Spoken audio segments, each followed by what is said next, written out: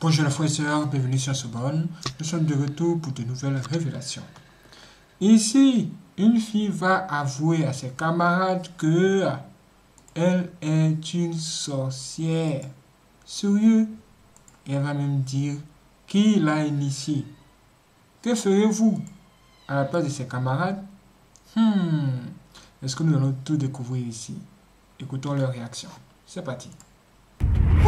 Ce soir, j'aimerais vous raconter une histoire que j'ai vécue dans un internat à Abidjan.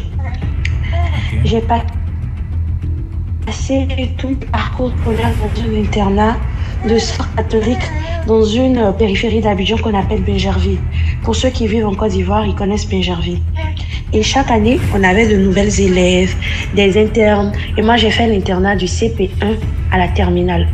Quand j'étais en classe de quatrième, il y a une petite euh, de l'internat qui, qui était en classe de CE2. Donc, nous étant les plus âgés, ces petites étaient un peu nos protégées.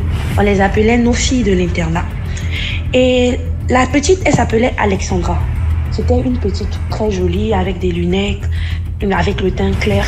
Elle avait une particularité, c'est-à-dire elle n'aimait pas jouer avec ses amis. Elle aimait plutôt se rapprocher de nous, ses grandes sœurs qui étions en quatrième. Donc, une fois, elle disait à un groupe de jeunes filles, vous savez, les grandes sœurs, je suis sorcière. Ça intriguait tout le monde parce que on ne dit pas comme ça, je suis sorcière. Donc les, les, les, filles lui demandent, mais pourquoi tu dis que tu es sorcière? Elle dit, si, je suis sorcière. Depuis la maison, je suis sorcière. Et c'est mon grand-père qui est notre patron dans la sorcellerie. Et tous les soirs, on tient nos réunions. Donc ça a intrigué tout le monde. Et quand on était au dortoir des filles de quatrième, elles nous en ont parlé. Ah, mais vous savez, la petite Alexandra, elle dit qu'elle est sorcière et qu'elle tenait des réunions avec son grand-père au séchoir. Et on a remarqué aussi que par moment, il y avait un prêtre qui venait à l'internat deux fois dans la semaine et ce prêtre, il restait au bureau de la directrice. On faisait venir Alexandra et puis bon, elle passait une à deux heures avec le prêtre deux fois dans la semaine. Et on a su après que effectivement Alexandra était sorcière chez elle à la maison. Son père le savait. Et comme elle était à l'internat, le prêtre, il avait pour mission de faire de l'exorcisme sur elle pendant qu'elle était à l'internat pour essayer un peu de canaliser ces trucs. Et parmi les filles à qui elle avait dit qu'elle était sorcière, il y a une qui aimait beaucoup la taquiner. Oh, quitte à côté de moi, petite sorcière, là, quitte là, tu m'énerves, tu m'énerves. Un soir, pendant que la fille dort, il y a un monsieur qui se présente à elle. Bonsoir ma fille, tu vas bien?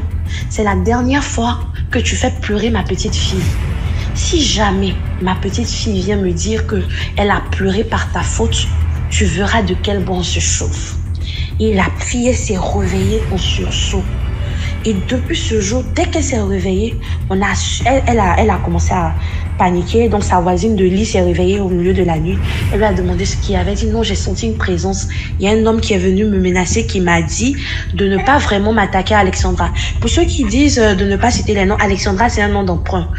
Et on était là, on avait remarqué quelque chose lorsqu'on quittait l'école. C'était ma première fois de constater ça. Je, je rentrais à l'internat au portail. La petite elle était assise. Et quand tu de l'école, elle te dit, quand on est arrivé, et tu marches peut-être sur 300 mètres du, portail euh, au dortoir. Et quand tu arrives devant le dortoir, tu retrouves la petite Alexandra également. Donc, c'était tout le monde. Et moi, j'ai commencé à me rapprocher d'elle. Et Alexandra a commencé à initier des enfants de son dortoir. Puisqu'il y a des petits du dortoir qui ont dit qu'elle tenait des avec Alexandra au, aux choses, au séchoir où on séchait les habits. Et je, je m'approche d'Alexandra et je lui demande, mais qu'est-ce comment vous faites? Pourquoi est-ce que tu es sorcière? Elle me dit, tu sais, grande soeur, je veux pas être sorcière. C'est mon grand-père qui m'a initiée et je suis obligée de faire la sorcellerie. Il me fatigue tous les soirs. Tous les soirs, on me demande de donner mon papa, mais je refuse de donner mon papa parce que je n'ai que mon papa. Il faut préciser que Alexandra a été abandonnée à sa naissance. Donc, c'est son papa qui s'occupe tout seul d'elle. Et déjà à ses 9 ans, Alexandra disait qu'elle refusait de donner son papa. Et donc, on a passé l'année scolaire avec Alexandra. On est parti en vacances. À la rentrée scolaire, il y a son père qui est venu et on lui a demandé où était la petite parce qu'elle n'avait pas été inscrite. On est rentré en octobre, mais jusqu'en novembre, Alexandra n'était pas là. Et là, il dit que mon Mais frère ma coucou, là, Alexandra est Et il aimerait hein, qu'on On- fasse à funérailles. Allô? Oui. Ça bug beaucoup là. Parfois, c'est comme si ton téléphone est dans l'eau. Hein. Oui. Donc, je dis. Ok. À quel niveau est-ce que vous étiez? Le portail 300 mètres. Je peux prendre là-bas, ça va être bien. D'accord. Donc, je, j'étais au niveau. euh, je disais que son père est venu à l'internat et il nous a dit qu'Alexandra est décédée pendant les vacances scolaires. Donc, on n'a pas compris et il nous explique l'histoire, comment Alexandra est décédée pendant les vacances scolaires. Pendant les vacances scolaires, la confrérie de sorcellerie de son grand-père, on la harcelait pour qu'elle donne son papa. Et Alexandra refusait. Et dans cette période, elle était très agitée. Donc, le prêtre, il partait chez eux à la maison pour faire des séances d'exorcisme tous les jours. Et le jour de sa mort, Alexandra est venue. Elle a dit à sa belle-mère, à qui était à la maison, Maman, le groupe de la sorcellerie, ils sont venus derrière moi. Ils veulent que je donne papa. Ils sont en train de me poursuivre avec un gourdin dans la maison. Ils veulent m'assommer, maman. Ils disent de donner papa. Je refuse de donner papa. Donc la belle-mère qui a vu qu'elle était agitée, elle lui a demandé de partir se reposer, qu'elle allait appeler le prêtre exorciste. Et quand Alexandra est partie se coucher, elle a crié, elle a crié, la belle-mère a couru, elle est partie dans la chambre d'Alexandra et elle allait trouver Alexandra agonisante. Elle lui a dit, maman, mon grand-père et le groupe de la sorcellerie, ils sont venus, ils m'ont dit qu'ils n'acceptaient plus que je donne plus mon papa. Donc ils ont décidé de me tuer. Ils viennent de m'assommer avec un gourdin. Je sens que je suis en train de partir. C'est un enfant de 9 ans, hein. une toute petite fille. Et quand elle a dit ça, Alexandra a rendu l'âme. Et dans toute l'histoire, ce que j'ai oublié de vous dire, c'est que le grand-père que Alexandra disait voir, c'était le père à son père. Et ce grand-père en question, il était mort trois ans plus tôt. C'est-à-dire, dans le monde des vivants, on a enterré le grand-père. Mais Alexandra voyait son grand-père là, tous les soirs. Et c'est son grand-père et son groupe qui l'ont tué. Et comme il n'avait pas de famille, et comme Alexandra, la seule famille qu'elle avait pu euh, se créer, c'était la petite famille de l'internat, on a fait ses funérailles à l'internat. On a envoyé son corps, il n'y avait personne parce que son papa, il estimait que toute sa famille était sorcière. Et on- c'est nous, c'est grande sœur de l'internat et ses amis qui avons fait ses funérailles. Et c'est comme ça qu'elle est morte parce qu'elle a refusé de donner son papa dans le monde de la sorcellerie. Tu te calmes, s'il te plaît. Bon, là, j'ai fini mon histoire. Vous avez entendu ça, c'est vraiment très grave ce qui se passe. Moi-même, dans mon enfance, j'avais rencontré une fille qui me disait que euh, elle avait ce problème-là. Oui, pour elle, c'est ce un de ses grands-parents qui lui a donné la sorcellerie aussi. Et ça l'a perturbé un peu. En tout cas, moi, en tant que euh, son copain, j'étais aussi perturbé parce que elle avait un mauvais comportement envers moi. Je peux lui donner quelque chose d'important à garder, elle va aller faire perdre cela. Sans même s'excuser. Ça, là, ce sont des signes de la sorcellerie que souvent les gens voient, mais ils pensent que c'est de la blague. On va aller plus loin pour en savoir plus. Il y a d'autres témoignages encore. C'est parti. Je sais C'est C'est une histoire. Avant, hein. Euh, le- Elle lui a dit que mais quand on est on est truc euh, comment on appelle ça quand on est étourdi quand tu manges un peu de cola ça fait passer de l'eau. Elle dit mais elle dit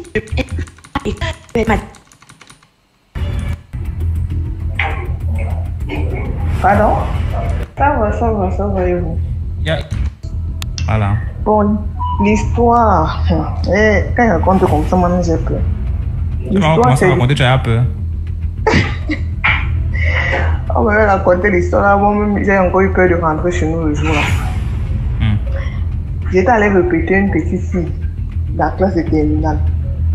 Sa maman nous a raconté une histoire, elle m'avait raconté à nous deux en tout cas. Elle dit qu'il y a une maman avec qui elle vendait au marché. La maman a vendu la nourriture. Elle a vendu sa fille, sa dernière fille pour avoir beaucoup de clients. L'histoire se passe au Cameroun. Il y a les Camerounais au marché central là-bas. Elle a vendu sa fille dans la sorcellerie, sa fille qui l'aidait à venir vendre après les cours au marché. Elle a vendu sa fille dans la sorcellerie et puis elle, a commencé à avoir des clients. Elle vendait, elle vendait, elle avait beaucoup d'argent. Un jour, son fils qui travaillait était allé, il marchait dans la rue comme ça, un homme l'appelle, il dit, mais pourquoi toi tu es triste? Il dit que non, j'ai perdu ma petite soeur, elle était malade, elle est morte comme ça, on n'arrive plus à comprendre et tout, et tout. Ça, ça sort du marabout. En fait, l'homme qu'il a rencontré en rue dit non, toi, ta n'est pas morte. Elle est quelque part au Grand Nord, là-bas, en train de, de souffrir et tout et tout. Il dit, mais comment? Elle est morte, ça fait presque un mois, là, elle est enterrée, on a fait les funérailles et tout et tout. Qu'est-ce qui se passe? Il faut me raconter. Il dit, non, elle n'est pas morte. Elle est en train de vendre les oranges quelque part là-bas au Grand Nord. Si tu veux, et puis tu vas t'amener, tu vas partir regarder et tout et. Il dit, il n'y a pas de problème. Il dit, avant de partir, il doit te préparer. Tu vais bien te préparer mystiquement avant que tu ne partes. Et quand tu vas vouloir partir, tu dis au travail qu'on te donne, on t'envoie en mission au nord. On dit ok, il n'y a pas de problème, et voilà en mission et tout et tout. Quand ils arrivent là-bas, quand ils arrivent, ils arrivent un mois, deux mois après la préparation et tout et. Quand ils arrivent Grand Nord, on indique le village très très très loin du Grand Nord. Il arrive, il prend un- une petite chambre et tout, et puis commence à, rester tranquille là-bas. Quand il reste, arrive, il dit, il voit les enfants passer en train de vendre les oranges. Le marabout, en fait, au départ, le marabout lui a dit que en journée, ta petite soeur vend les oranges et en soirée, elle se transforme en chien de rage. Sont des gardiens de la maison de sorcellerie là-bas au Grand Nord. Il dit qu'il n'y a pas de problème. La nuit, le jour qu'il part, quelques jours après, il voit les, enfants qui commencent à passer, sale, sale, avec des habits déchirés et tout, et puis qui vendent des oranges sur la tête. Il appelle la petite. Il achète les oranges. Parce qu'on avait indiqué comment elle est. C'est pas le même visage. Sais, comme elle est morte, c'est pas son même visage qui était là-bas, mais il y avait quand même les traits de ressemblance. C'est quand on enterre le corps Dieu à la morgue et tout et tout, il y a les, les ressemblances qui se fait et tout. Quand il arrive, il appelle une fois, deux fois, trois fois. Le marabout avait dit si tu arrives là-bas, tu vas payer les oranges trois fois et puis tu reviens. Les oranges que tu achètes là ne sucent pas. Ce ne sont pas des oranges. Ce sont des choses comme euh, quand vous achetez, vous sucez puis c'est vos sangs qu'on prend, demain vous mourrez et tout et tout. Il a acheté les oranges, il a dit, il est rentré euh, à Douala avec euh, les oranges, il a montré au, au travail praticien. Le travail praticien a travaillé sur ça, travaillé, travaillé. Il a maintenant donné un truc quand il est arrivé là-bas. Maintenant, il a essuyé sur son visage et sur ses mains. Il dit chaque fois que tu vas acheter les oranges à la petite, elle va commencer à te côtoyer. Vous allez causer de temps en temps. Elle va te, elle va t'expliquer ce qui se passe. En fait, que quand tu vas l'appeler pour lui poser des questions, elle va te répondre. Parce que ce genre de personnes-là, ce genre de personnes-là, quand tu les appelles, une fois, tu leur poses des questions, une fois, deux fois, on échange de, de, rue. Donc, on les échange de quartier, ils sont plus dans le même quartier de peur qu'on va les remarquer. Donc, c'est le remède là qui permettait en sorte que les gens de son côté là ne, ne- ne se rendent pas compte que la petite fille là a déjà trouvé une personne qu'il connaissait. Donc, quand il posait avec la petite fille là, donc, les médicaments, quoi, on avait travaillé sur et tout et tout. Chaque fois qu'elle partait, elle vendait, elle achetait tous les oranges. Qu'elle reste à terre, elle cause, elle cause. Elle raconte comment ça se passe là-bas dans les cercles. Il dit, ouais, elle dit, ouais, tonton, je suis comme ça là. Le matin, nous, on va, on ne mange pas, ils ne boivent pas de l'eau. Puisqu'ils sont morts, ils ne mangent pas, ils ne boivent pas de l'eau. La nuit, nous sommes en chien enragé. On jette la viande humaine. Bon, les gens qui meurent là, quand ils vendent les oranges, quand vous sucez, quand tu meurs, même prendre ton âme quelque part, c'est ça qu'on nourrit les chiens là-bas. Ils sont comme des chiens la nuit, gardent l'enclos et tout. Ils arrivent un jour, il fait encore deux semaines là-bas, Grano. Il rentre, il rencontre le tradit praticien. Le tradit praticien maintenant dit si tu es prêt, parce que comme tu remontes là, si tu veux rentrer avec ta petite soeur, tu me dis. Mais sache que si tu rentres avec elle, ta noix va mourir. Il dit que même si c'est elle et tout son, son, équipe, il n'y a pas de problème. Moi, je m'en fous de ma maman. Elle a tué ma C'est ma seule petite soeur que j'avais, qu'il était trois. Son petit frère à moi, il reste la petite soeur et lui. Il dit que ma seule petite soeur, celui qui paye celui qui et tout.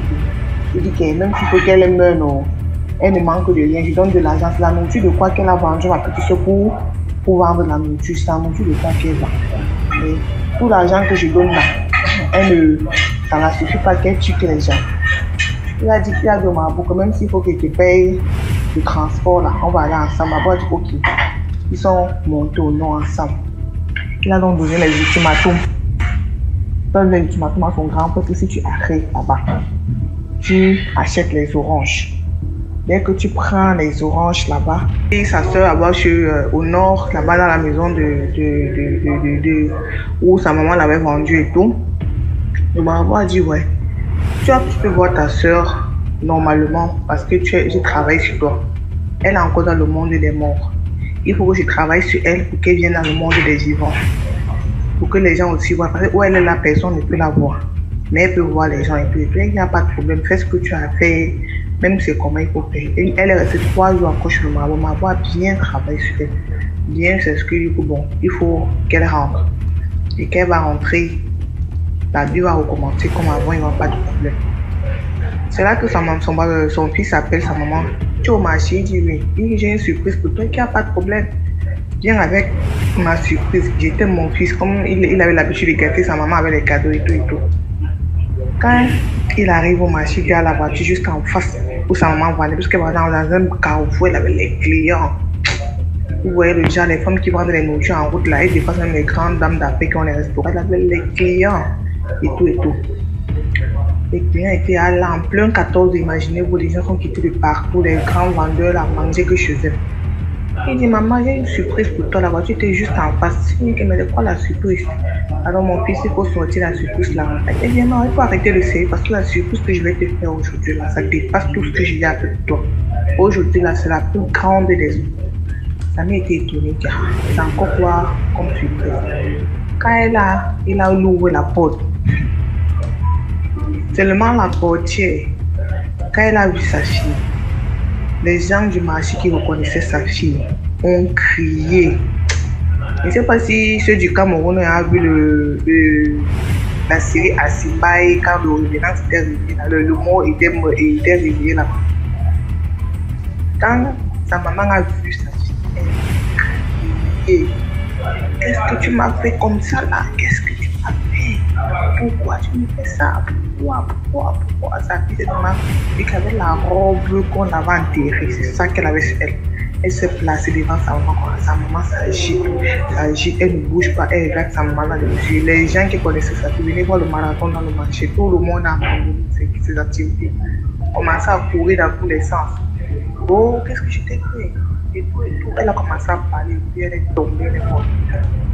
La nourriture qui était là, tous les clients ont dit, ceux qui ne connaissent pas, c'est qu'elle a pas été Sachez qu'elle avait tué, qu'elle est revenue sur Angie. Comme ça qu'elle est morte. Allez, elle est rentrée chez elle avec elle. Au jour de l'enterrement de la maman, là, son corps, donc on n'a même pas fait deux jours à la mort.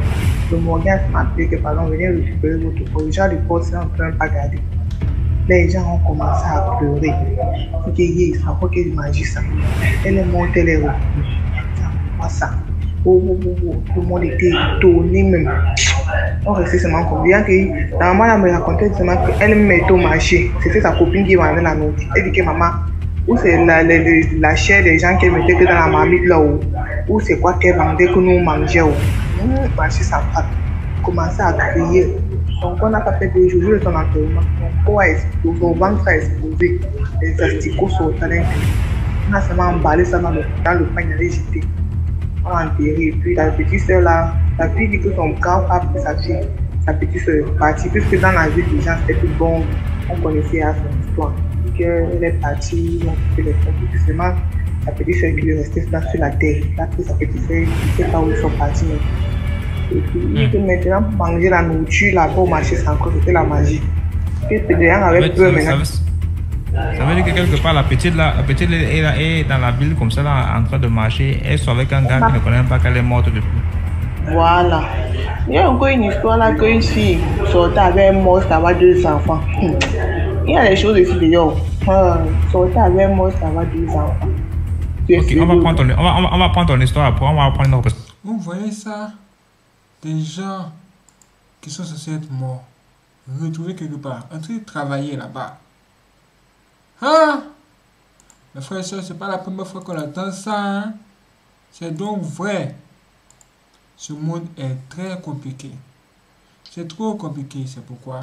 Quand vous rencontrez une personne pour la première fois, cherchez à savoir quel est son état d'âme d'abord, avant d'avoir une longue conversation avec elle.